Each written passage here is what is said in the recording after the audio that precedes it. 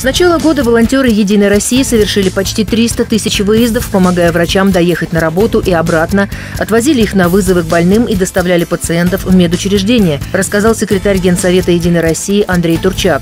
Также в этом году добровольцы доставили 2 миллиона комплектов лекарств людям, которые заболели и лечатся дома. Более 10 миллионов продуктовых наборов и порций горячего питания медработникам, находящимся в красных зонах. Приняли и исполнили более 815 тысяч заявок, поступивших от граждан. Андрей Турчак отметил, что самое активное участие в этой деятельности принимают депутаты «Единой России» всех уровней и подчеркнул, что в предстоящие новогодние праздники работа волонтерских центров не прекратится.